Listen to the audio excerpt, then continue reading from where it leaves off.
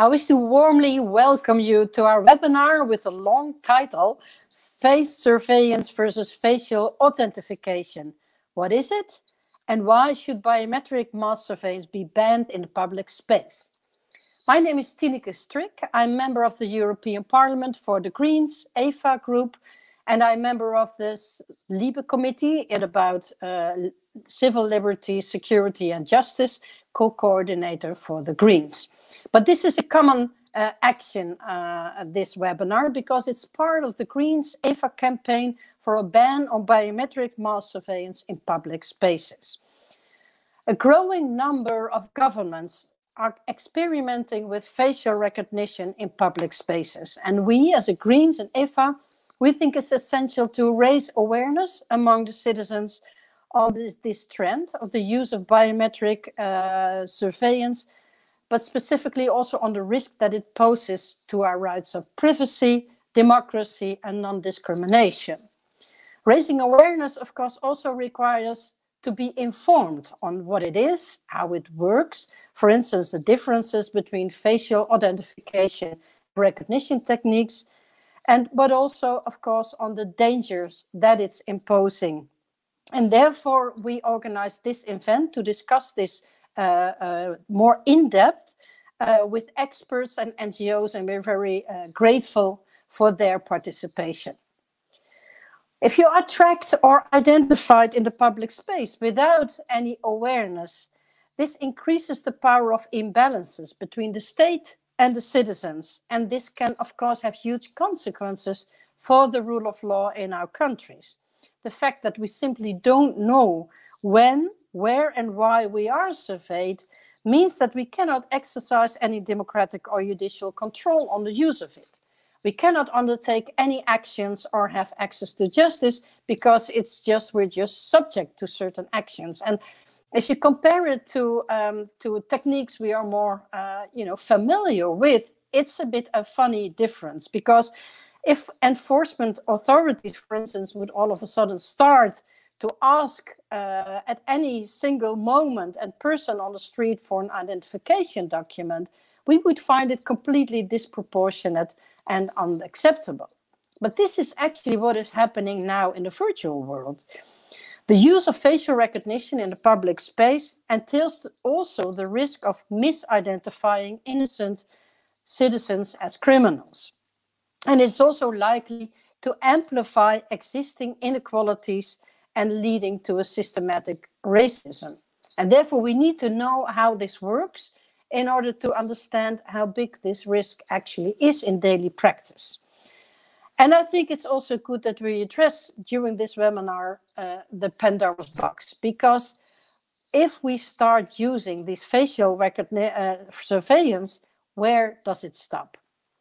Even if authorities promise to have safeguards in place and only use it for specific goals, for example, to fight terrorism, you still need to hang up surveillance cameras on every corner of the street. And once this information is gathered, how can we be sure that it's not going to be used in other ways? Uh, we, we have so many examples of what we uh, uh, mentioned, function creep. Once authorities do possess uh, information, it's very seductive in practice to use it also for other purposes. And of course, we have a lot of rights in place. We have our Charter of Fundamental Rights, and we also have a very young regulation in the EU, the GDPR, on the right to data protection. And one of the first criteria that is always uh, necessary to assess is is the use, are specific measures interfering with our right to privacy, are they necessary? And this is also something, of course, we need to ask ourselves for facial uh, recognition in the public space. Is it really necessary or maybe it even be counterproductive as it may distract the authorities from effective investigations and law enforcement? But besides that, I think we also need to discuss and think through in what kind of society we want to live. A society where every person is tracked, profiled, and judged by the government on the basis of facial characteristics that is not exactly the society that we as the Greens envisage. So what can we do about it? How can we bring these concerns further? We need an EU-wide discussion on what the use of facial recognition means for our societies, including how it amplifies existing inequalities, inequalities and whether it fits with our conceptions of democracy, freedom, privacy and equality. And when it became clear that the Commission wanted to set rules, impose rules for the member states on the use of facial recognition, the member states really became in a resistant mode. They did not want to have any interference, any restriction from their policies uh, that they were actually at the moment exploring and, and increasingly using. So therefore, it's so important that we as a European Parliament speak up proactively. So in order not to be too late once those policies have further developed and that the resistance from the member states even becomes bigger. So we need to uh, act now and we need to act with one voice. And only uh, uh, we, we, we need to raise awareness in our societies of these developments and to uh, have also resistance from the citizens, from societies themselves, in order to align up uh, with members of parliament. I think only then we can put member states under pressure. A ban on facial recognition in the public space is feasible and it is perfectly possible. And I think it's very good in therefore to get some inspiration from abroad uh, because uh, there are very clear positive examples. For instance, great progress has been made in the US. Portland Oregon, Boston, and San Francisco are among the cities that really effectively have banned uh, biometric surveillance by law enforcement authorities. So I think that now the time is for the EU to step up and follow that example. The Greens EFA Ban Biometrics campaign will focus on, on the one hand, raising awareness and sparking the discussion within the parliament and outside the parliament with events and by also working on studies on where and to what extent facial surveillance is already used and what its impact is on fundamental rights. I think this is this information is really important to well to have our arguments in place, but also to show uh, the risks of the effective uh, use of it.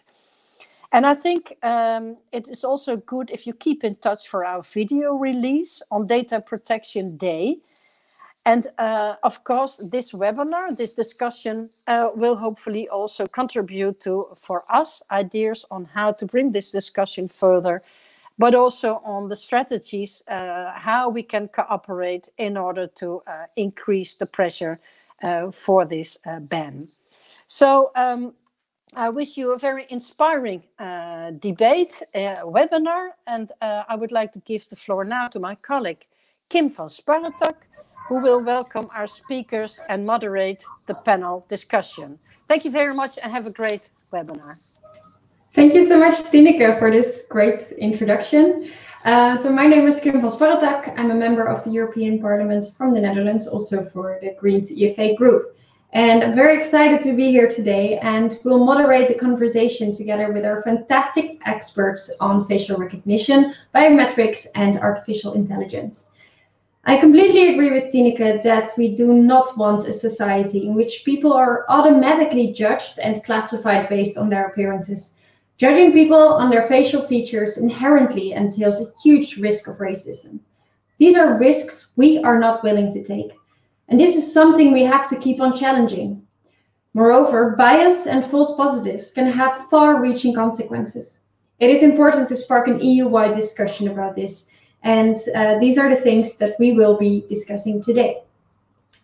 So um, we are very honored that Irina Orssich is joining us today. Um, Irina Orssich is a team leader for AI policy in the AI policy development and coordination at the European Commission.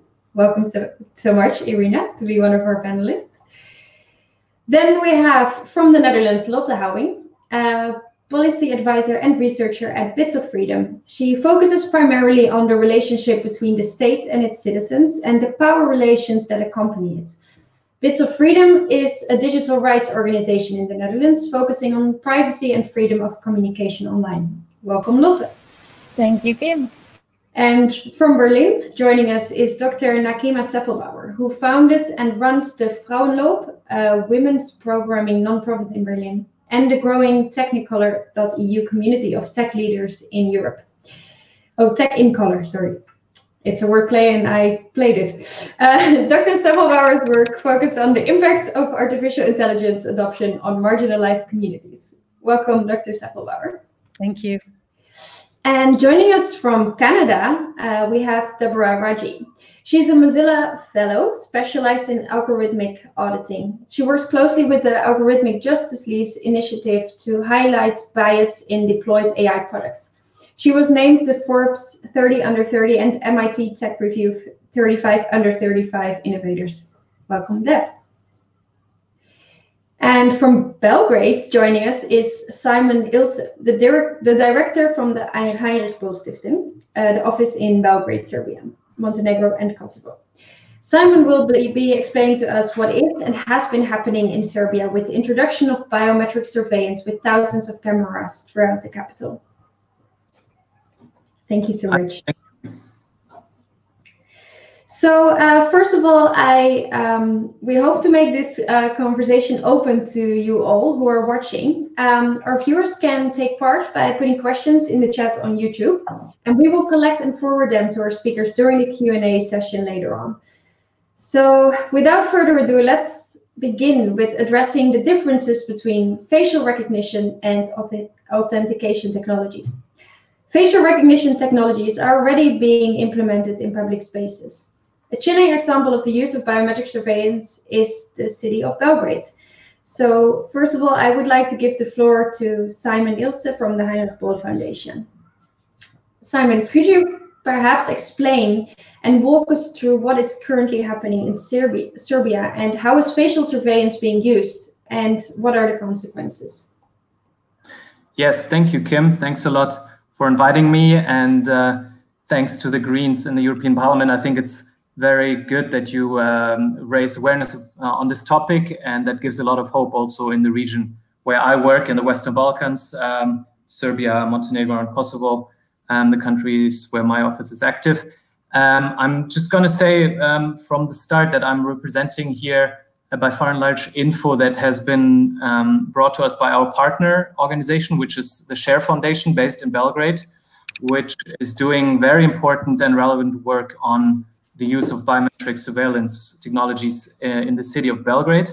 And basically what we have been seeing and, and witnessing since 2019, more or less, is um, a Huawei project um, that's called the Safer City project being rolled out in the city of Belgrade with the plan to roll out um, a camera, biometric camera surveillance system of more than 1,000 cameras being deployed all over, all over the city this is a, um, as you can imagine, directly bilaterally negotiated um, project between the governments of China and uh, Serbia, and it's being um, it's being installed and it's being deployed um, without much transparency, without um, much um, reasoning for why this would be necess necessary or proportionate. so, just to give you a few uh, points on on what we're facing. Uh, basically Minister of Interior back then, Mr. Stefanovic, was quoted saying that there will be no significant streets, entrances, or passages between buildings that will not be covered by cameras. We will know from which entrance and building the perpetrator came, from which car, um, yes, and so on. And uh, and this is basically gives you um, a bit of an idea of of what they're uh, what they're aiming for. Um, after the Share Foundation, um, an NGO based in, in, in, Serbia, which is also part, by the way, of the EDRI um, um, Society Network, uh, published information on this project, Huawei removed any information from their website on the Safer City uh, project in Belgrade. Um, this camera systems of, of what we know so far from the from analyzing what kind of cameras are being deployed is highly invasive. It analyzes up to 10 plus body and face attributes. and it is being deployed, um, as I said before, in, in on, on poles, in public spaces, on major uh, traffic crossings, but but mostly public spaces actually everywhere in the city center of Belgrade and New Belgrade. Um, so uh, the the argument that is being put forward by the government so far that it's it is for crime prevention or traffic uses is very little um, convincing since uh, these cameras are definitely pointing to all kinds of direction and are and are, are deployed in a way that that um, that allows for indiscriminate surveillance basically of the population. Um, the interestingly enough, the Commissioner on Freedom of Information um, in Serbia, uh, which is one um, state um, uh, institution, says himself that there's no legal basis in Serbia to use biometric surveillance, that the law on personal data protection is silent on such technology, and that the principles of necessity and proportionality are not met. Um, we are very worried about this uh, development, of course, because we think that Belgrade could be a first precedent in Europe uh, for for such for such technology, the first European city to use it on a massive scale, um, and it as such is a bit of a battleground um, then for for for the usage and for the the fight also against such technologies. Um, as I said, we don't have any uh, information um, on the system in detail by the government. All information uh, freedom of information requests put forward by civil society were denied. There's still a um, a process pending with um, with the commissioner of, freedom of information, so that uh, is still pending.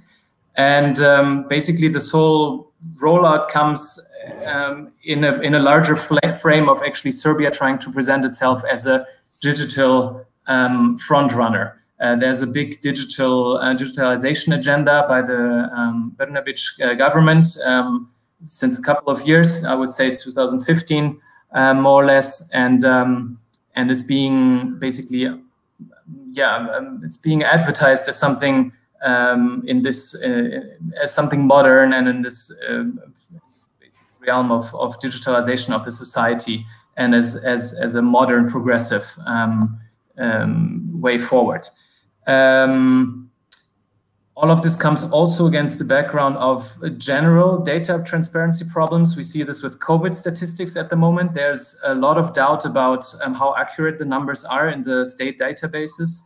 Um, there's um, there's also, of course, a, um, a history in, um, um, in, in former Yugoslavia, but also in uh, in in the in the 90s, especially in during the breakup of mass uh, policing of the of the society and and surveillance.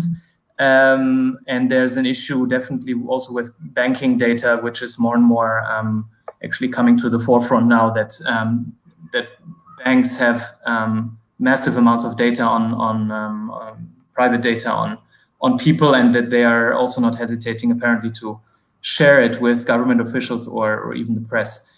Um, I just want to, I just think that this example of Serbia and Belgrade is quite important because it's it's a rather small country. Um, it, it's about five to six million inhabitants, and Belgrade is, um, as the capital, is one third roughly of that population. And you can imagine that you know people know each other, families know each other, and and um, especially in a in a country where the state is such a dominant actor in in the economy, people are um, already quite hesitant to be seen um, being to be seen being critical of the government in protests, for example, in the public space. So uh, imagine uh, there would be um, now a full, uh, um, actively used rollout of these cameras. Um, uh, how many people would still be willing to actually share their protest or their critique of any of any government um, uh, policies? I'm I I was uh, I was a bit announced as being as you know reporting from a, a, context where it's already happening and where everything is already surveilled. We don't know that for a fact. We I mean we can see the cameras um, everywhere. Um, we know that they're being deployed. They're they're connected and everything, but we don't know to what extent they're already used and to what extent that data is already analyzed and and collected. Um, probably yes, but we we don't know that for a fact since since it's very opaque. Also. Uh, we know that the servers and the let's, let's say digital infrastructure on that uh, on the back end is in the hands of the Ministry of Interior. Um, that the legal basis is lacking definitely for for for processing such data, um, but that also Huawei um, would be the only um, service provider that would be able to maintain such a system um, and and further develop it. So that is also definitely a dependency issue. So um, this is the problem basically, and uh, just to give you a short uh, also input on uh, what's being done to address this problem. Um, Share Foundation, as I said before, has has been um, initiating a, a, campaign which is called uh, Hiljade kamera, so 1,000 cameras. Um, it, this is part also of the EDRI European Digital Rights Network campaign um, to ban biometric um, mass surveillance. Um, over 6,000 people only from Serbia signed a petition, um, signed the European petition Reclaim Your Face, which was launched last year. Um, and uh, Share has been even crowdfunding 10,000 euros for a project addressing biometric surveillance in, uh, in Serbia. Um, a part of, of course, um, other cooperations with us and with others to to um, to work on the topic. Um, Tineke mentioned in her introduction that it's important to to actually really make um, to to educate um, societies on these issues, and that's exactly what Share is also doing. They're doing um, basically technical tech workshops with uh, young people to to understand the technology to, to discuss privacy and, and data protection and to also, um, as a very practical um, game almost, um, is to map the, the different cameras. So whenever there's a new camera, uh, somebody can um, somebody can go and and map it on an open um, open data um, platform. And so far, over 1,000 camera spots have been have been mapped in Belgrade. I can share the the links to that uh, later if you want. So so um, yeah, it's seen in, in Serbia as a very, I mean, among among our partners as a very positive um, development that the EU um, Commission registered the European Citizens Initiative um, for a ban on biometric mass surveillance.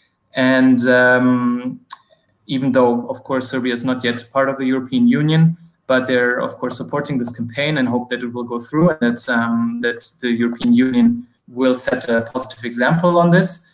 Um, and yeah, basically their their argument is is always also to say um, we have to ban this this. I mean, there's no way in in improving this kind of technology the way it is being deployed right now.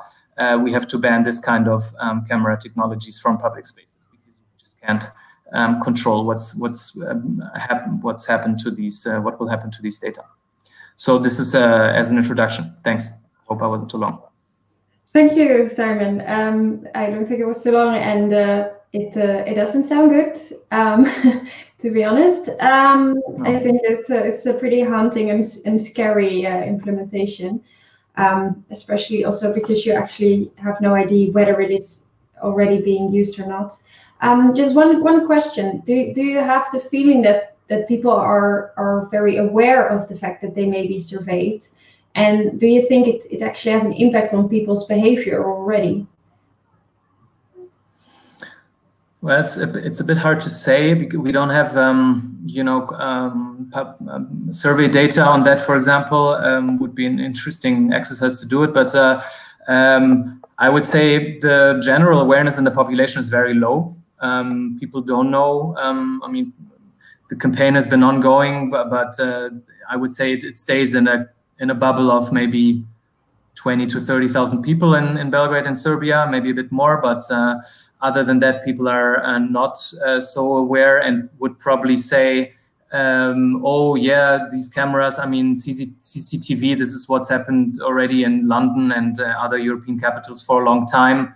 This is also coming to Belgrade now, nothing else to worry about. Um, this is some reactions that I had. Um, other than that, I would say, it, I mean, it's hard to say if people are already self-censoring themselves, already adapting their behavior. Uh, of course, that is that is the big fear and the big worry there.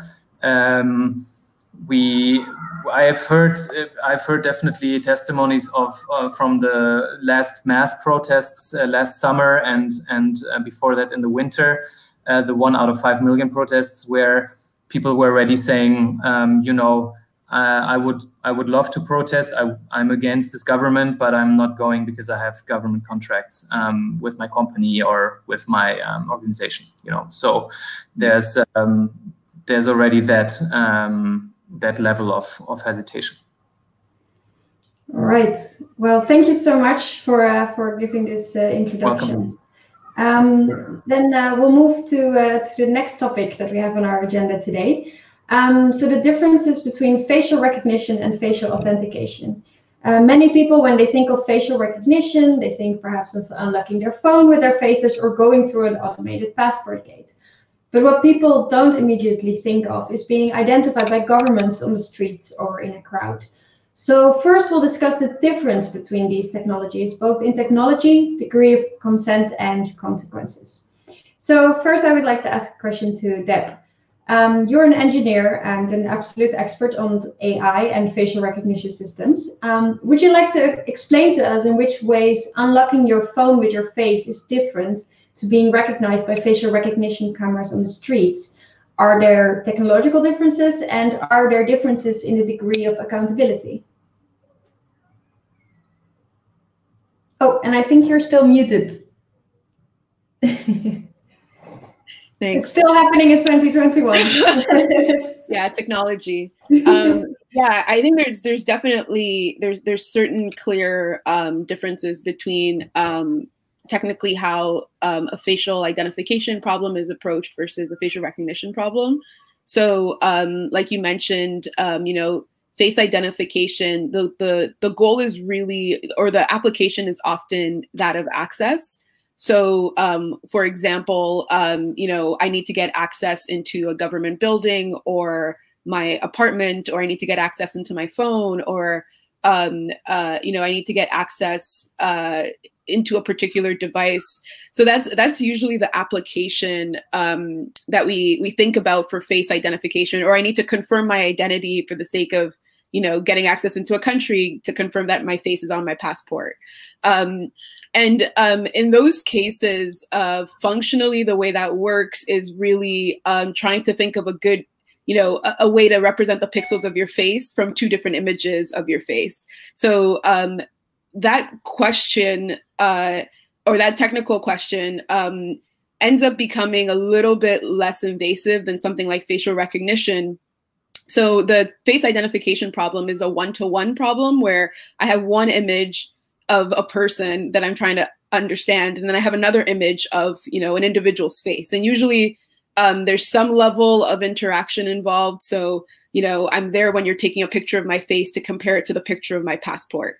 Um, whereas with something like facial recognition, there's very little interaction involved. It's a one-to-many problem where you know the police might have a database of a bunch of faces um, and you know they acquire an image of your face and they're trying to identify you know if you're within their database um, or you're you know walking down the street and an image is captured of your face and compared to their database.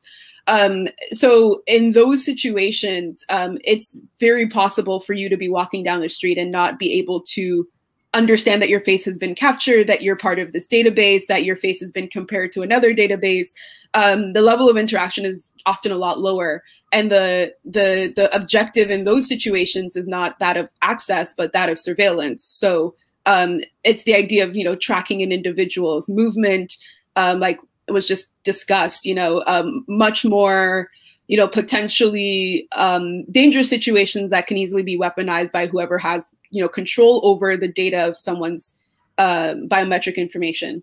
I will um, note a challenge that exists for both of these issues, at least in the U.S., is that um, the the way that these models are currently being developed. Uh, by the way, there's also this sort of third category of facial recognition products, um, which is sort of facial analysis products. So these are products that you might have seen where they attempt to characterize the face in some way. So they'll try to, you know, guess your age or your emotion or your gender or your ethnicity based off of your face. Um, and those are that's sort of this third category of products to consider as well. That's becoming increasingly popular.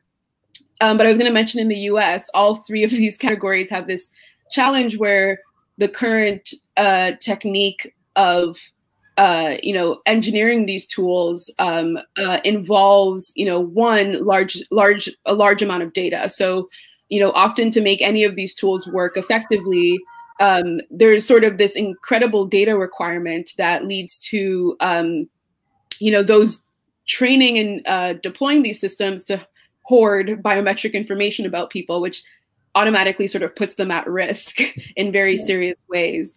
Um, you know, um, a face is is as identifiable or unique to an individual as a fingerprint. So, um, you know, don't upload our fingerprint to the internet for reasons.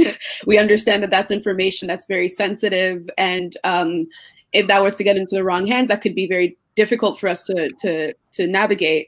Whereas with our face, we're you know we're very casual about our face. We upload it everywhere, um, but it's just as uh, sensitive uh, biometric information as you know a fingerprint or uh, a blood sample. So it becomes very dangerous um, in these situations where these companies, you know, collect lots and lots of biometric information about people to build any of these tools. So I'm I'm wary of framing, you know, um, face identification as the you know the, the lesser of two evils because it it also does encourage companies to collect this biometric information. And um, I have personally dealt with at least one case um, in when I was in New York. Um, there was a um, a tenant building where um, the landlord who sort of had a history of harassing the tenants. So the tenants were mostly people of color, lower income individuals, and the tenant, the landlord was sort of looking. It was a rent stabilized building, and the landlord was sort of looking for ways to kick the tenants out so he could raise the rent. Um, and one of the strategies he had come up with was installing a facial recognition system to identify tenants as they were coming in and out. And um, the initial pitch was as an access point. So to say, you know, for security reasons, we want to collect your biometric information so that, you know, you, we can match it to, uh, you know, the faces in our database and so that you can have access into the building. Um, but very quickly, um, the tenants realized that that could escalate to the point of surveillance where once he had their biometric information, he could use that same information to track them throughout the building. Um, and that that that case really escalated. Um, uh, we we were involved um, in a campaign um, that it escalated to the point of um, having uh, one of the represent the the House of Representatives uh, members from that area actually propose an act called the Biometric Barriers Act that was aiming to um, block facial recognition deployment of any kind in rent stabilized buildings since it was be beginning to it was beginning to be weaponized by landlords as a way of collecting you know the sensitive information about their residents you know under the guise of access but really for this purpose of surveillance. Um, so i'm i'm very wary of that of making that difference feel like one is the lesser of two evils. Um, and then the second sort of reason i'm very wary of that distinction you know uh, presenting, you know, face identification as the lesser of two evils here um, is because, you know, another part of my research is auditing a lot of these deployed facial recognition systems. Um, and our audit work has revealed that, uh, you know, facial recognition systems often do not work as well for people of color as they do for um, other individuals. And as a result of that, you have a situation where um, whether it's a face identification system or um, a facial recognition system or even a face analysis system, so something trying to detect emotions, um, often it will not detect the face of a person of color or properly or give the correct response for a person of color. So, you know, for the case that you were mentioning with um, face identification or with the application of access where you're, you know, you're just trying to get into your iPhone. And there was a, a, a situation of this with um, Chinese users of the iPhone once Face ID was released um, you know, Chinese users were often complaining about the fact that the iPhone was not very effective on their face. Um, there was uh, an Uber driver that had sued because Uber's, um, you know, driver-facing app um, in the U.S. in San Francisco, I believe, used a facial recognition system to verify your identity before, you know, um, giving you access into the app. Um, and as a result of that, you know, because it wouldn't identify his face, he wasn't able to work for for several weeks before that was resolved. So, you know, there's a lot of uh, negative consequences that can happen as a result of even facial recognition being used for, you know, access into your phone and that not working. Um, in the case of uh, the Chinese users of the Face ID uh, uh, sort of tool for the iPhone, uh, you know, you would have a situation where, you know, their cousin or their sister was able to unlock their iPhone. And that's obviously an incredible security risk. So, um, you know, all of this to say, and and by the way, you know, all of this is definitely all these risks definitely also exist for, um, you know, surveillance applications as well. Um, you know, we have uh, in the U.S. Uh, a couple cases, um, Robert Williams being sort of the most prominently featured case of a man that was falsely identified uh, using a facial recognition tool. And you know, since the goal of that tool was surveillance, um, uh, it escalated to a false arrest, which was obviously very personally disruptive. So, um, so yeah, there's there's a lot of situations um, where you know things can easily uh, spiral out of control, and I think that facial recognition of any form should really be um, analyzed and investigated. There's a lot of opportunity for this tool to really um, one operate as an excuse um, uh, to collect biometric information, and then two, um, you know, put people at risk by virtue of the application not functioning for them because they're part of an underrepresented group. Um, so yeah, all this to say that there's a difference between the two of them, but um, I'm wary of presenting one as sort of the lesser of the two evils. All right, thank you so much um, for this clarification.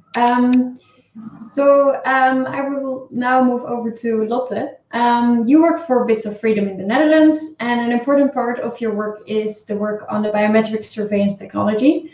And recently, the Citizens Initiative Reclaim Your Face, which was already mentioned before, uh, was registered by the Commission. So congratulations on that.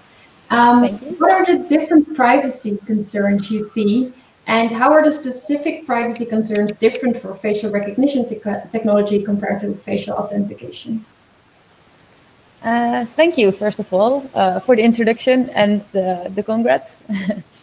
um, I want to start with uh, agreeing with, with Deb that um, this, this difference uh, that's normally sketched between the risks of facial recognition as surveillance and facial authentication as kind of a security method um, are mostly overstated because I think there are some links that are sometimes missing when people make the difference, um, and then it seems to be smaller.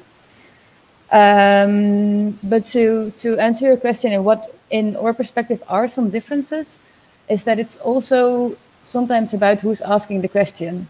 If you have, for example, uh, facial authentication as a security method for a building or for unlocking your phone.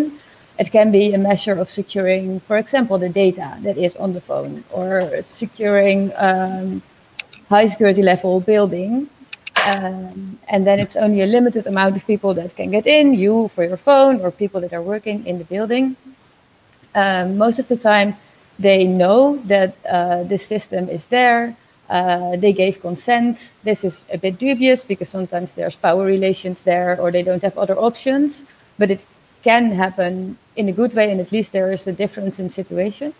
Um, and it can be that the system is used also in, in their interest because the security measure can protect something that is theirs. Um, which is a difference when you look, for example, at facial recognition as uh, mass surveillance in public space, where we see that a lot of people are they don't know that it's happening um, and the surveillance that takes place since they don't know they are not even able to give consent. And also since it's most of the time not per se happening in their interests um, they might not even want to give consent. So i think there is a really big interest in the question um, in whose interest is the deployment of this technology and who wants to know your identification or who wants to verify it and because of what goals and whose interest. Thank you. Um, Nakeema, you're an expert on the effects of facial recognition on marginalized communities. Um, which problems do you see if facial recognition is deployed specifically in the public space? And why are those risks different than the risk for facial authentication technologies? I think um, to follow on a bit on what both Lotte and Deb were saying, um, the biggest problem that I see initially with uh, facial recognition as deployed in public spaces is uh, first the assumption of criminality, uh, because the uses that we're hearing about are all about following, tracking, uh, limiting, and um, catching up with criminals, essentially, in criminal behavior Um, and there's another assumption that's equally jarring for me, um, which is the assumption of the infallibility of the software that's being used. So it's not only a question of capturing images and making matches between um, the images that have been given of people's biometric identifiers um, willingly or unwillingly uh, to the authorities, it's also the assumption that whatever software is being used to match those images to a database of faces is going to be utilized in the correct way. What do I mean by that? Um, I think Simon mentioned earlier that there was something like a rumor of 10 specific um, physio physiological points that were being used to match faces to a database of faces um, in the Serbian case. Well, who is in fact available to ensure that all 10 of those points are being matched by the authorities who are then attempting to identify people with criminal behavior, with suspected criminal behavior using those 10 identifying points. Um, We've had examples again from the US, but there are others um, where the authorities, the uh, law enforcement in particular, has been shown to be using specific facial recognition software um, incorrectly, which is to say, with a range of different uh, data points that can be matched to a database of faces, they're using 30%, they're using 20%, uh, and they're using that 20% match 30% match, whatever it is, um, to then go out and uh, prosecute people or attempt to apprehend them and engage them further into the legal system without their consent, without, in many cases, any wrongdoing at all. Um, so I think that's a very big difference than um, facial authentication in the case of an iPhone or in the case of, you know, accessing a particular door or particular access point to a specific space. Thank you. Um, so I think we now have kind of an idea what the difference of the technologies used are. Um, but if you still have any question about this topic, then um, don't hesitate to um, ask the questions in the chat on uh, YouTube or Facebook or Twitter. We're everywhere today. Um, and I also heard that there were some issues with the, the chat box on YouTube. Apparently, if you refresh the page, then the chat box will uh, will magically appear. So um, that's good to know. So um, we're now moving on to the second part of the of the discussion. Um, we will look into how biometric surveillance is being already implemented and what the specific risks are. Um, during the last event that we already did uh, uh, uh, around the topic of biometric mass surveillance, we um, heard that the very first areas where facial recognition is tested or used are usually uh, the more disadvantaged neighborhoods. So um, to perhaps start with you, Nakeema, um, where and in how far and to what extent is facial recognition being deployed and what could be the effects in the long term on citizens' fundamental rights? Um, I think you've already sort of outlined uh, what the initial usage uh, typically is for facial recognition, facial surveillance. It's on um, controlling or attempting to gain um, information, willingly given or not, about marginalized groups and communities specifically that are underrepresented um, in government and in law enforcement. And in the case of um, communities of uh, asylum seekers, refugees in Greece, um, and in other locations where um, the persons concerned may not have full access to um, the law, they may not have um, protection against surveillance. Um, we're seeing that these technolo this technology in particular is being used as a way to um, quickly control and try to bar access to certain places and to certain services um, amongst uh, populations that have fewer bargaining rights. Um, you're also seeing a lot more over policed environments. This is in North America, this is also in China, um, where you have minority populations that may have historically uh, suffered from discrimination um, being targeted for additional surveillance on the basis of um, some type of assumption of public safety being served or furthered by targeting, and I think it's um, targeting these communities and these individuals um, without their consent. Uh, again, the assumption of criminality is is rife, and the assumption that there is always um, a basis, a legal basis for um, victimizing and violating the privacy of certain communities uh, for the greater good and for the public good um, is usually the argument that's made. Yeah, and um, yeah, just to, to go a bit further onto this point of controlling and disadvantaging minorities, that um, your audit facial recognition systems um, found that these systems do not recognize uh, Black women. And your findings even led big industry players to self-impose a moratorium on facial recognition. So what risks do you see if facial recognition is deployed in a public space? And um, is it even possible to ensure accountability?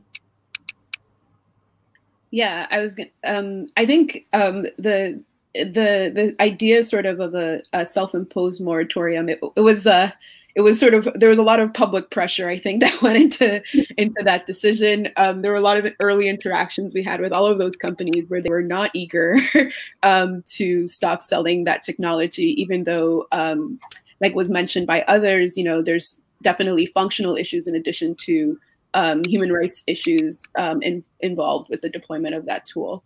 Um, yeah so i i think that there's a lot of interesting uh, well i think the, the main sort of challenge that or the, the main sort of cause that at least in the us a lot of the um, progress has been made on and this has been in collaboration with um, aclu especially aclu massachusetts that has been campaigning about this um, with us for about two years now um, so it's been a very long fight but i think the the main concern that we have is that around police use of facial recognition or the police use of face surveillance specifically. Um, so, um, you know, facial recognition, like I mentioned, is um, a broadly understood technology. It encompasses, you know, face verification or face identification.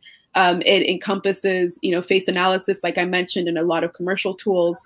Um, but the police use of these tools is really where um, that translates to material violence in the lives of a lot of underrepresented folks, especially where um, you know police will use uh, a facial recognition match uh, as sort of uh, uh, legal collateral um, to you know continue acting in a way that could be discriminatory. We see a similar sort of pattern with predictive policing tools in the U.S., where um, you know police department might sort of be um, intent on uh, or may, might have a pattern of harassing a particular um, underrepresented neighborhood or population, um, and you know, facial recognition or predictive or the predictive policing tool is really just uh, an excuse for them to continue with that behavior, um, uh, something they can point to as evidence for why they're acting in a particular way. So in, in that way, it directly puts these populations at risk because not only are they the group that we've discovered, um, you know, these tools work the least effectively for, but they're also the tool, they're also the population most vulnerable to having, you know, that false match escalate to the point of an arrest, um, you know, versus another person that might be caught in a similar situation. Um, so as a result of that, it really does put uh, minority populations at, at, a, at a huge sort of physical risk um, um when these tools are widely deployed. Um, the other thing that um, um, happened in the US, in Detroit, especially. And this is due to a lot of the advocacy work of people like Tawana Petty, where in Detroit, there's also been this sort of uh, push in minority neighborhoods where there's this, you know, this narrative around crime and criminalization uh, in those neighborhoods. And as a result of that, you will have a situation where um, it's not just in public spaces, but also private spaces. So they have um, in Detroit the Green Light Project, where uh, the police has actually partnered with um, you know particular private enterprises. So you know can, you can think of like a mall with uh, security cameras in inside or um, you know in their parking lot, um, and actually giving police access to those cameras on private property um, uh, you know, to to be able to process that information. And then with Amazon, um, I'm not sure if this is going to be a familiar example, but Amazon Ring um, is sort of this doorbell, yeah, that you can sort of purchase, and it's a camera um, and it monitors your porch, ideally. Um, but um, there's been a couple instances, and Amazon is, you know, despite their moratorium that um, they had put forth around um, pausing facial recognition, their face, the, the, the sale of their facial recognition product directly to police um, you know, there's been a couple recent investigations discovering that they continue to try to leverage their Ring product um, through partnerships with law enforcement and using their facial recognition tool as, you know, an option for how to process that data. So, um, you know, this is a situation where it's technically not, um, you know, a camera um, in a public space. Um, it's actually a privately owned camera. Um, but even, you know, allowing these public-private partnerships with law enforcement and allowing facial recognition to be part of that equation in terms of how to process that data um, can result to, in a lot of harm as well. So um, lots of different ways that that risk can actually practically play out. Yes. Um, so yeah, hearing from uh, Nakeema and Deb, uh, there's there's a huge risk of disadvantaging minorities because they're already targeted more often, and you know we have this huge risk of false positives. Um, but there's also another side to it. Uh, Lotte, you have mentioned that the more powerful and less flawed and biased these technologies become, the more danger, dangerous they become. Um, could you perhaps explain this and how far can facial recognition enlarge the power imbalance between citizens and the government and where will it stop?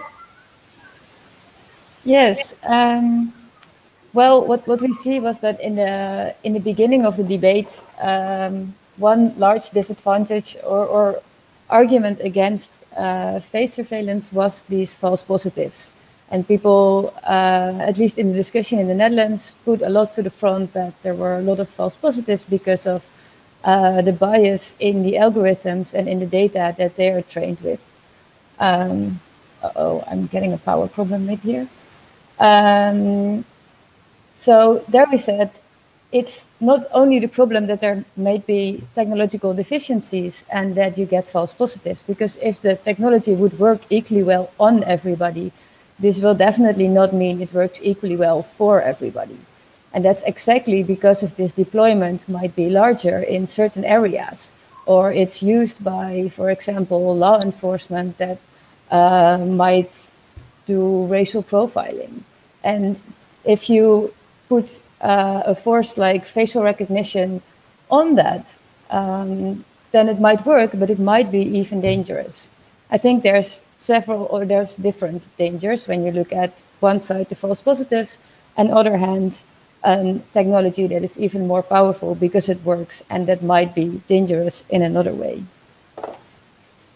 Can, can you maybe give me a minute because I'm afraid my laptop will yes. die we will i'll ask a question to someone else and you can you can fix your technology oh nakeema do you want to say something yeah i just wanted to say that i think it's, it's good that we focus on the idea that the um, the groups that are most likely to be victimized are initially the ones on whom um, coincidentally that this software technology tends to work least well um, but also that um, this is a very much an open door. Biometric, biometric surveillance is very much an open door to all kinds of surveillance that may uh, start off as being um, racial groups or neighborhood based or um, undesirables in some way that for some reason are more su suspect of wrongdoing of some type of nonconformity but it's a it's a very very quick hop from that to targeting members of other groups that for whatever reason um,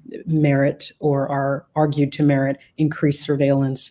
Um, it's uh, really a deterrent to any type of nonconformity, whether that be um, gender identification, whether that be um, any type of identity, personally identifiable characteristics that, um, as I think um, was mentioned earlier, are part of this increasing suite of services and analysis that apparently um, certain private um, companies and interests are purporting can be made from the same facial um, surveillance techniques. So you're not only talking about one to many matches with your face against a database that has been collected who knows how, you're now talking about the possibility that characteristics um, such as trustworthiness. You know, this was something that was most recently um, revealed to be some companies' business um, proposal, presumably going to companies and to law enforcement um, to sell that product. And it goes on from there. Gender, it goes on for all kinds of identification that apparently can be um, certain companies are proposing derived from facial recognition technologies and their computer vision algorithm is so great that this is a whatever percentage of confidence. Um, the breadth of communities that it's tested on, uh, the likelihood that it actually does not work well for many communities, genders, etc.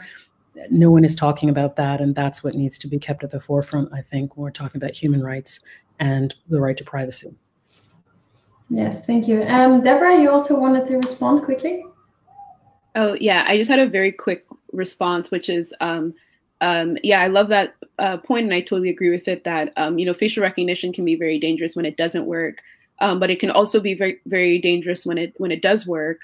Um, and um, this is actually one of those situations where the difference between you know face verification, one-to-one matching, and um, you know surveillance applications and you know facial recognition in the technical sense becomes very clear because uh, with you know one-to-one matching with respect to my iphone a lot of the harm happens when it doesn't work when it can't identify my face and uh, you know uh, you know i can't get into my phone or i can't get into whatever building.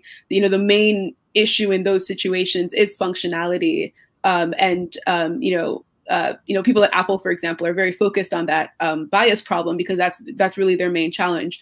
Um, in addition to sort of encryption and keeping the data private uh, a lot of the downside um, to a person of color interacting with that product is that it won't work for them.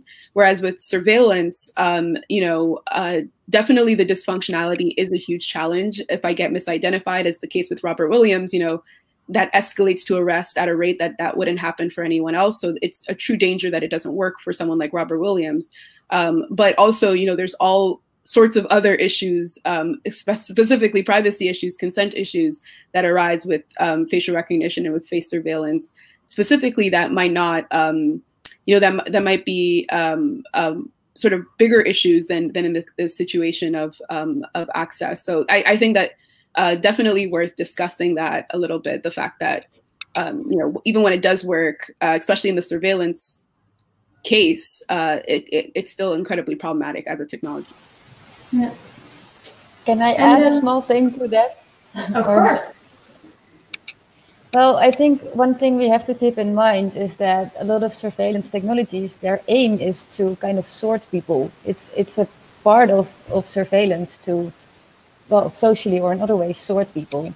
And especially when profiling uh, comes into the mix, uh, we see that, for example, we had this um, European project, I think it's part of Horizon 2020, what's called Eye Border Control, um, where they used uh, facial analysis. Um, and it's a, it was a border project. So normally when you come at customs, you, ask some, you answer some questions like, what's your name, uh, where are you going to, what are you going to do there? Um, and they technologically analyzed your face and the small muscles that are moving in your face to give you a score of how much they think you are trustworthy. Um, and then they gave you a score, and when you had a high score, for example, you had to had you went through a different regime than when you had a low score, based on the risk they assigned to that. So I think what we have to keep in mind is that surveillance is about gathering information about people, um, and based on that information, a different regime applies to you. So I think there's discrimination in there per definition. All right, and uh, perhaps uh, as a last question um, uh, uh to the to the panel before we move over to the Commission, what kind of regulations do we do we need to protect the privacy and human rights of citizens? It's just a small question, I know, but uh, I would like to to give uh, give the opportunity to uh, to our panelists to to give a, sh a short answer uh, or try to do so. Who would like to go first? Yeah, sure. um, this is this is one of our great goals with the Reclaim Your Face campaign. Um, we think uh, we really need a total ban on uh, biometric surveillance technology in public spaces. Um, we don't believe that with strict regulation we will get there because we're afraid that we will not be able to contain the use or deployment of uh, biometric surveillance. We also don't believe a moratorium will be enough because one of the problems this will cause is that it, the most thing it, it will result in is time, um, time in which lobbyists can uh, put out their words uh, and put pressure on, on politics, and then we get the same. It might be just expanded, and that we don't are that we're not able to defend our human rights, but also to defend our public spaces. And I think the public spaces play a really crucial part in a free democracy, because it is the places where we uh, act out or fundamental rights, where people go to to protest, where people meet each other, where people walk, walk by to their sacred places, where people um, live as communities. Um, this is no place for state interference in a sense that you that they that the state will be able to monitor, analyze, and track everybody in there. Um, so when it comes to the protection of um, our data or fundamental rights and or free societies, I think the only answer is a total ban of biometric surveillance in public spaces. All right. Um, any other Deborah, Nakeema? I'm I'm happy to add quickly that um, as somebody who has grown up in an over-policed uh, community that um, has the personal experience of um, seeking to avoid certain public spaces, public services, public uh, situations where the assumption that I had growing up was that I would be subject to this particularly harsh surveillance um, technique of uh, intimidation, of ex extra um, uh, concern and care uh, just at being present. Um, this is an incredibly um, dangerous and invasive and uh, harmful technology to be even considering uh, in terms of moratorium, you know, maybe maybe later, maybe a little later, um, there should absolutely be a total ban. That's why Amnesty has just, I think, released their request for that in New York City, where I grew up. Um, that's why uh, Boston and other cities have gone so far as to enforce a total ban because they recognize that they have no control over how this technology and the surveillance will be implemented, and that more likely than not, it will be um, unevenly and disproportionately harmful to marginalized communities. And that's just the precedent of um, the technology thus far. So I'm I'm in a total ban camp as well. And I saw Deborah uh, nodding. Yeah, that was very well said. Yeah, I, I think that was a lot of the reasoning why I'm also um, in a total ban um, sort of uh, position. And it took me actually a while to get there. I think I started off in a position of um, being against police use of face surveillance and a lot of the um, um, a lot of the sort of mandates that you see from municipal city, like municipal governments and um, even some statewide wide proposals in the U.S. are mostly focused on that um, application of you know police use of face surveillance and banning that particular uh, use case of, of facial recognition. Um, but as we've had a couple, you know, uh, you mentioned Boston, but Berkeley and other, you know, Cambridge, other other cities throughout the U.S. have begun. Um, Portland have begun um, you know banning police use of facial recognition. And i, I i'm actually I, am like watching in real time you know how all these police departments are creatively circumventing that that ban in, in various interesting ways um, you know sourcing information. And the other thing as well is that you know it's not just police use. Um, ICE which is sort of the enforcement agency for immigration in the us has been making increasing use of facial recognition, um, and they're not affected by a lot of these bans. Um, so I'm, I'm, you know, I'm watching how people are sourcing um, you know face data from you know driver driver's license databases so that they're not storing the database. Um, or they're you know they're sending their their uh, leads to um, a department uh, in another city that does is not under ban so that it can be processed. So in, general I, I, kind of arrived at the conclusion that um, facial recognition as a technology is just incredibly you know by virtue of just um, requiring you know this hoarding or, or, this access to you know copious amounts of uh, you know personal personally identifiable biometric data it's just uh, by definition a very dangerous tool um, and you know bef- before we can use it confidently, we need to actually um, you know fully restrict uh, uh, the way that we deploy this. Um, the other thing I'll note as well is that people often talk about you know Face ID on your phone. Um, a lot of the uh, municipal bans in the U.S. will have a clause, um, you know, excusing that kind of application of facial recognition for access purposes. Um, and I'm actually increasingly against that as well. Um, I'm noticing, um, you know, first of all, I I'm now of the camp that um, there's probably another way to uh, to to uh, design that kind of security feature. So you know, some even something like a fingerprint requires more interaction than something like and is a more reliable um, biometric than something like the face. The face is actually a very sort of dangerous biometric to work with in a lot of ways. Um, so I'm, I'm actually, you know, shifting myself towards a, very like a full absolute ban mode. Um, uh, uh, haven't made up my mind yet, but um, you know, the Algorithmic Justice League as an organization is definitely in the camp of, you know, banning police use of face surveillance. And me personally, I'm kind of shifting towards um, a more absolute ban of the tool until we can really um, understand um, if there's any sort of justification for that hoarding of biometric info. Thank you. I see that Nakeema would really like to respond. Um, very shortly, please, because uh, briefly, please, because then we move over to the already over time. I just wanted to say that again, the the idea that there's still a debate in terms of moratorium versus ban is often very much uh, framed, at least in the European context, with um, the target populations and risks that those populations uh, represent in terms of it not being used on the sort of general public. Um, there's definitely word that uh, in France, for instance, um, the database that they were excited to roll out for facial recognition and surveillance purposes was not going to be used on the French, it was going to be used on immigrants. So you know the french need not worry and you know in in the us you have many cases where all manner of abuses in terms of surveillance are going to be used on illegals, um, so aliens or others, or not the general population. So the general population need not fear. But again, I think again, we have to keep in mind that historically,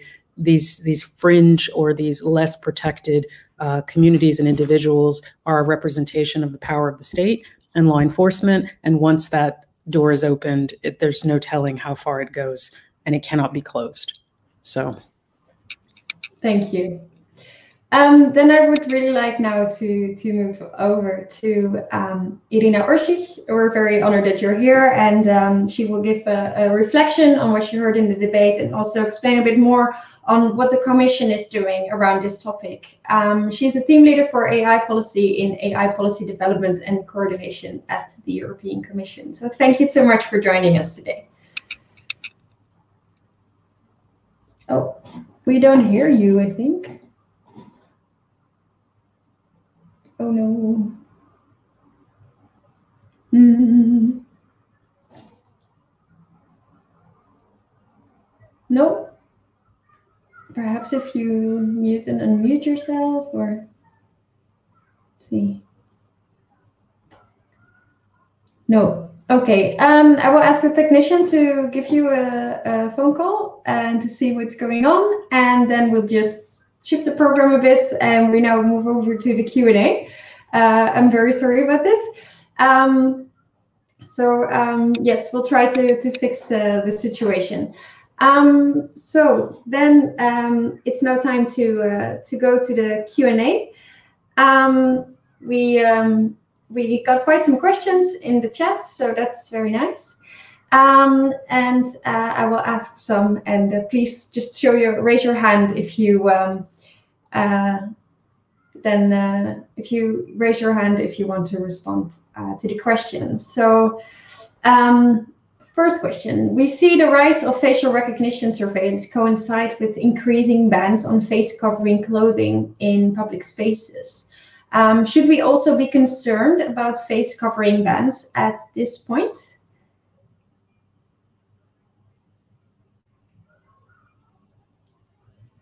No one wants to answer this question.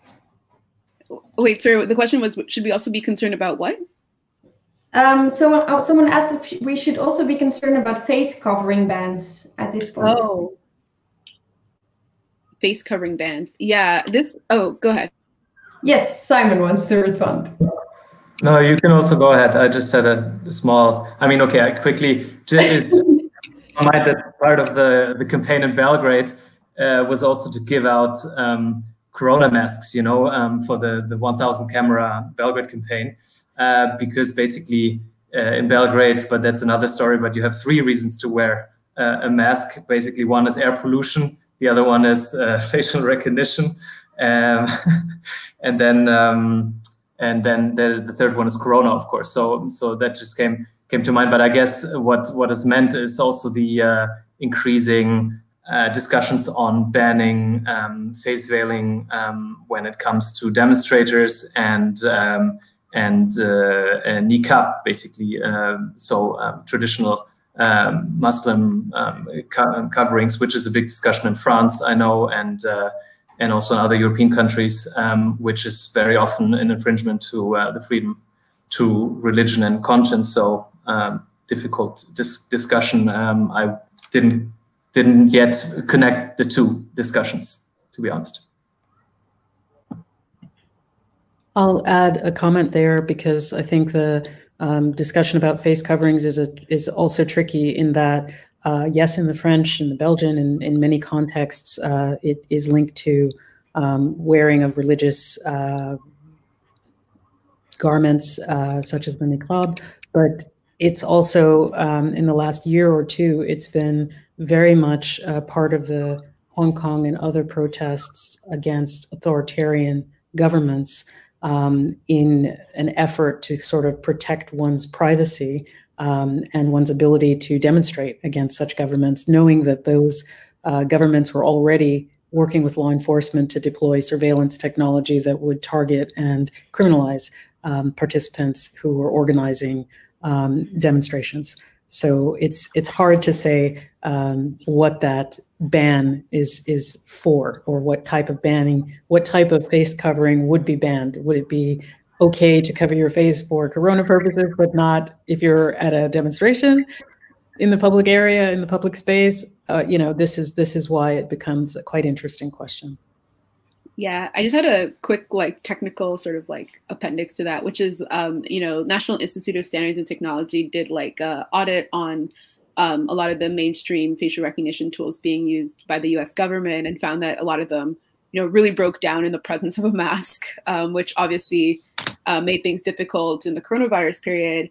Um, but you know, unfortunately, uh, for you know, for worse, uh, probably um, um, a lot of uh, tech companies kind of jumped on that opportunity to attempt to develop new strategies to identify people in the absence of uh, you know information about their nose and their mouth area. So there's um, you know at the recent uh, sort of uh, computer vision conference I went to, there was, you know, one of the highly anticipated papers in that space was, you know, a, a, paper that was able to identify people just based off of, you know, their eye area and their forehead and their hair.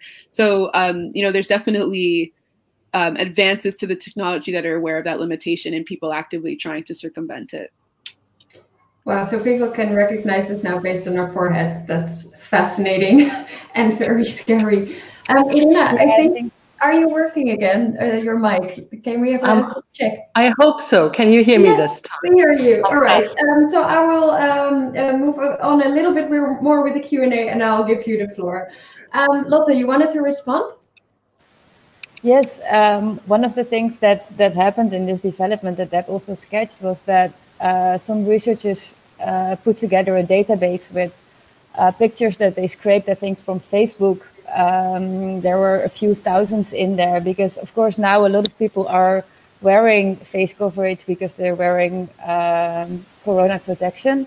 So there's a lot of pictures of people wearing face coverage ended up onto social media, uh, such as Facebook. So they scrape them off there, put together a database with only people that are uh, that has their faces covered. Um, so then you have your trainings database to adjust your facial recognition algorithms and train them to um, recognize people that have their face covered. So that happened already. All right. Um, another question we got from the audience. Um, why is it important to talk about consent when we're talking about uh, facial recognition in public? Who would like to go first on that? Don't be shy. Lotte, you want to go? You can go. yeah, I wanted to go, and then I'm like, oh no, but I'm also the last person who said something. No, that's fine. That's fine. yeah, we don't mind. Um, yeah, and the other thing is that I think it's really dubious um, to talk about consent when it comes to uh, surveillance in public spaces in general, because um, it's practically impossible. Um, because consent should always be freely given and informed. And I think you have two problems there. Um, what you see now is that a lot of, especially biometric surveillance pilots that are now happening in public space, um, there's not much transparency about that. So people are not informed when they're in the spaces where this happens. Um, you cannot consent to something that you don't know about. That's quite simple. And the other thing is that it should be freely given. Uh, and you cannot, there's no opt out option from public space because that means an opt out option from society. So you cannot ask people like, hey, we're doing uh, facial surveillance at this square. Please don't come to the square anymore if you don't want your biometric data processed. That's, that's not how a free society works. Um, and you cannot, there is no consent if it's not informed or not freely given. So I, I don't see how this could work in, in practice. Yeah, I have uh, something very quick to add to that, which is um, uh, I think um, that that was a great response, especially with respect to sort of um, face surveillance. Um, you know, uh, sort of anchored to like physical uh, surveillance infrastructure, but there's also um, you know situations. A lot of the uh, scandals um, uh, by American companies on issues of you know collecting face data without um, any kind of approval or consent is also based off of you know uh, digital surveillance applications for some of these things and you know digital surveillance infrastructure. So when i upload my picture to flickr or to a dating website or uh, to facebook i don't expect that face to end up in uh, you know a face a facial recognition you know training set and i don't expect that information to be used against me or to, so, to be sold to the police.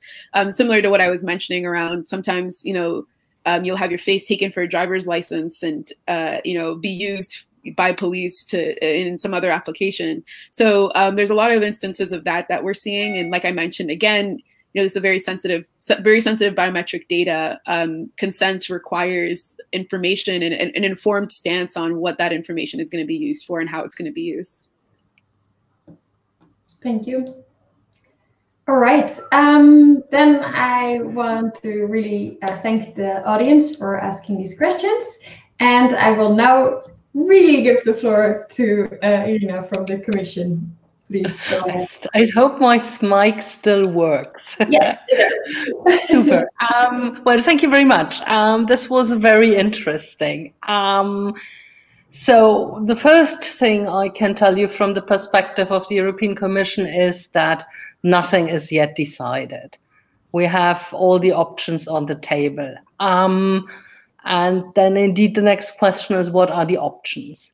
You will be aware that in February last year, we had published a white paper on artificial intelligence.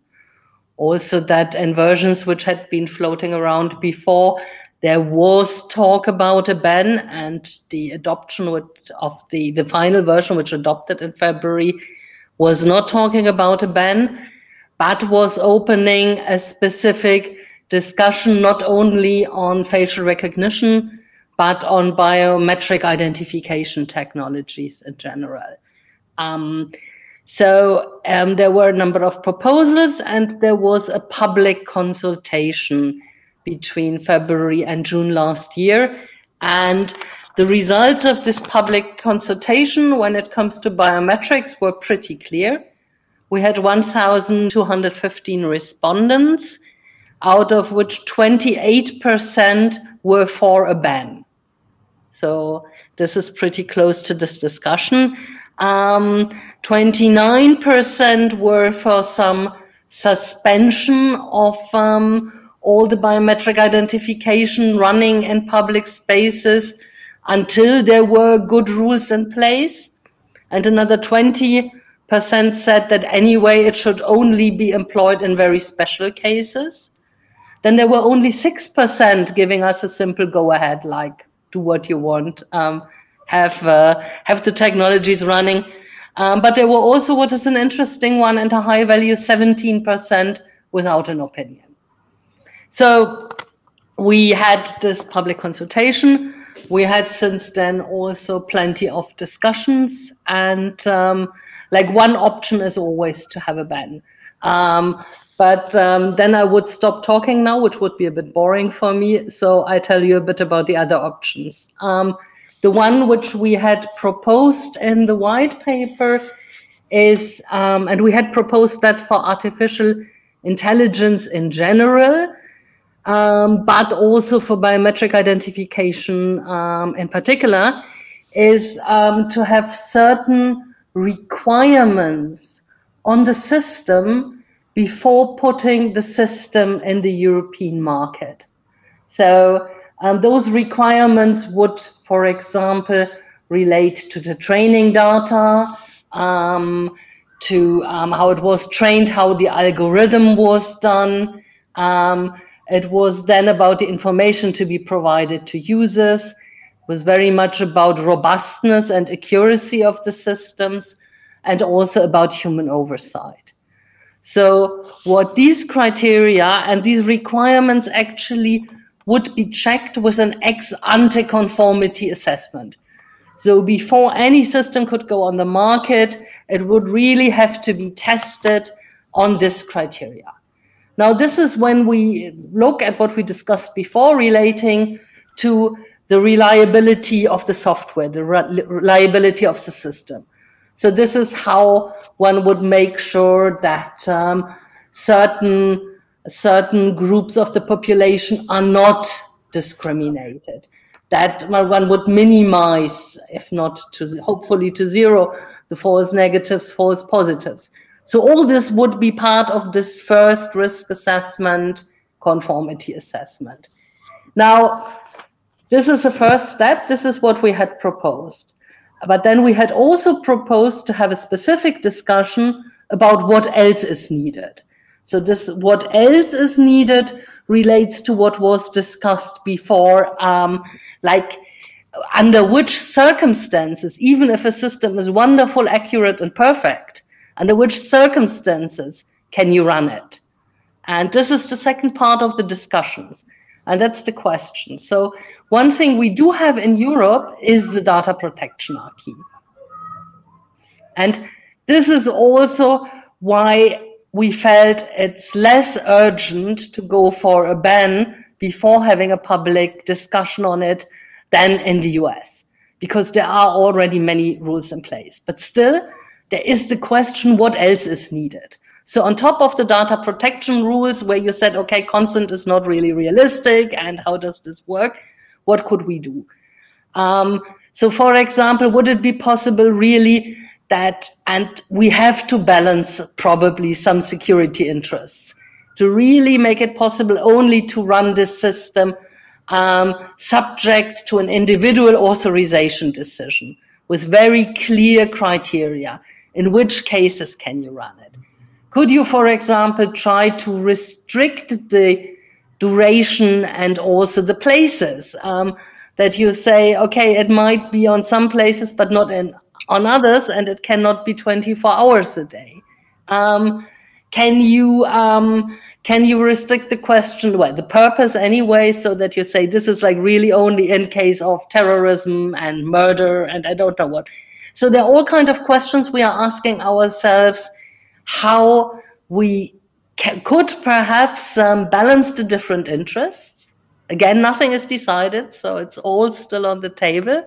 Um, and um, um, how could this work in a way where everybody feels comfortable, where there is no chilling effect on our democracy, because we don't have the feeling that we are in a surveillance state, and where we really make sure that there is not a specific focus on marginalized communities. So these are the discussions, and um, I think um, for the rest, I would leave it to you and your questions. Thank you.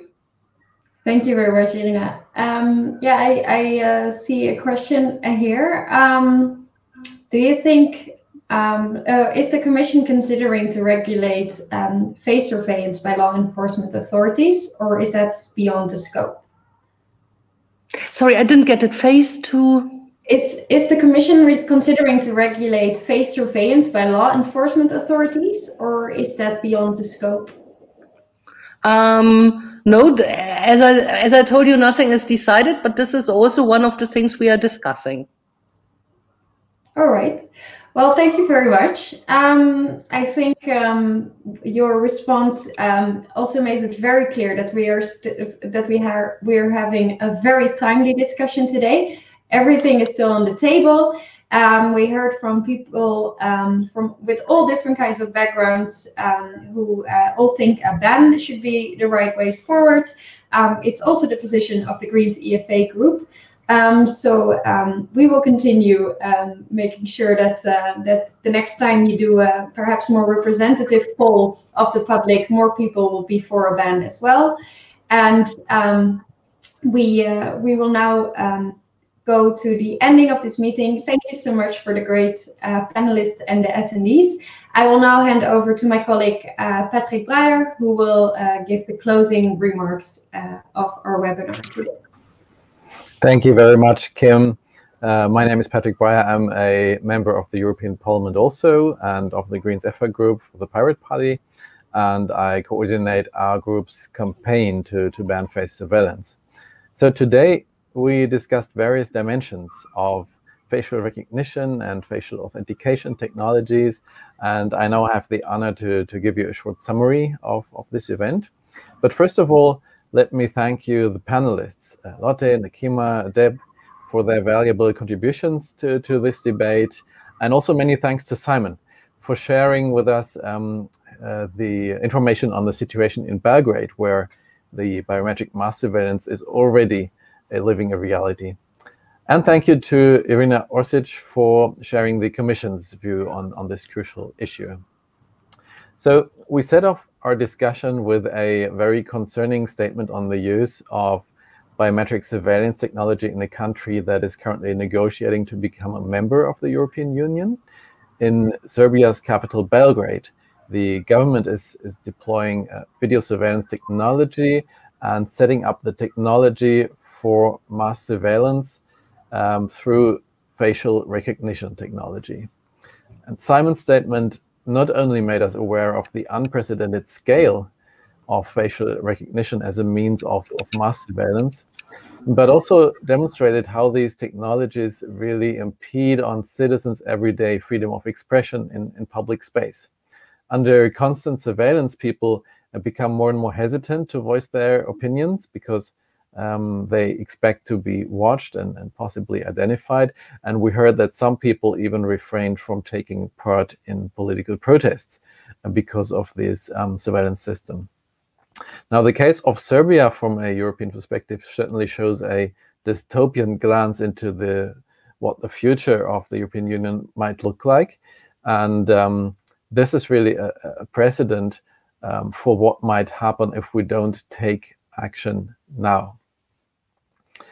Afterwards, in our um, panel debate, we um, started by discussing the differences between uh, facial authentication and facial recognition technologies. Uh, we learned that a, a difference uh, can be that um, uh, can be awareness. So um, with face authentication or verification, um, users are often aware and this awareness is, is often provided by the interaction needed to, to gain access to a device or a building, for example. On the other, on the other side, using remote facial recognition in public spaces means that our biometric data will be uh, processed and stored surreptitiously without us having uh, knowledge uh, of it. And um, that is, of course, a major difference. However, as Deb and, and Lotte pointed out, uh, we also heard that it's difficult to identify one of the two as the lesser evil. Both technologies collect uh, highly sensitive biometric data, and both technologies are uh, often come with a discriminatory bias, uh, for example, against non-white communities, and uh, produce many more false positives here. Um, also, even face, face verification, for example, when used at the entrances to buildings, can be used for surveillance and tracking people whenever they uh, um, uh, enter a building or, or leave it. And Nakeema made us aware of the fact that um, this technology is by no means infallible, uh, that it's often used to target already marginalized communities and places them under an assumption of criminality and that in fact face surveillance acts as a deterrent to any type of non-conformity, she says. So um, it's not just a technological program. Facial recognition can be dangerous when it doesn't work, but it can be even more dangerous when it does work, as we've heard. Um, we then moved on uh, to um, uh, discussing the implications of the technology and uh, answer some some questions from the viewers. And in response to to our debate, uh, Irina Orssich informed us about the Commission's approach to regulating these technologies. And she told us that nothing is yet decided. All options are still on the table. However, in the consultation on an AI paper um, put forward by the Commission, only 28% of the participants spoke out in favor of a ban. And indeed, as Kim said, uh, maybe we should have a representative poll to, to have more insight into the views of uh, all citizens, um, even those that didn't participate in this consultation. Other than a ban, the Commission is considering the option to um, require an ex-ante conformity assessment before such technologies are allowed on the European market to make them more secure and reliable and to reduce built-in bias uh, when it comes to minorities. Uh, she said that she, she doesn't feel like we're living in a surveillance state and that um, the Commission does not want this technology to have a chilling effect on our societies or a discriminatory effect. So to sum it up, I believe that uh, this debate made one thing very clear. Um, biometric mass surveillance technologies are a point of no return for, for human rights in public spaces. They are Pandora's box on our rights to privacy, to non-discrimination, to freedom of expression, and to participate in protest, freedom of assembly. Um, by experience, we know that once these technologies are in place, it will likely be impossible to get rid of them again. And that is why our political group wants to make sure that we stop these technologies from becoming a dystopian reality in our everyday lives. And that is why we call on the Commission to propose a ban on the use of biometric technologies for mass surveillance in public spaces, particularly when used by, by state actors. And by the way, and next week, I will be in the Court of Justice in Luxembourg to contest the refusal of access to documents on the EU-funded i-border control project that has been mentioned, which, which claims to be able to detect liars by using artificial intelligence reading your face while answering questions. And we'll see if we can um, get some, some insight and transparency into this um, voodoo technology, I should like to call it. So thank you all very much for joining us today. Uh, please, um, our viewers, stay tuned to our social media channels. Uh, we'll release, release our official campaign video on Thursday of this week, so on, on Data Protection Day. And we'll have further events coming up in the course of this year to raise awareness for the, the danger of these technologies. And we're looking forward to welcoming you back for these events. Thank you very much for joining us.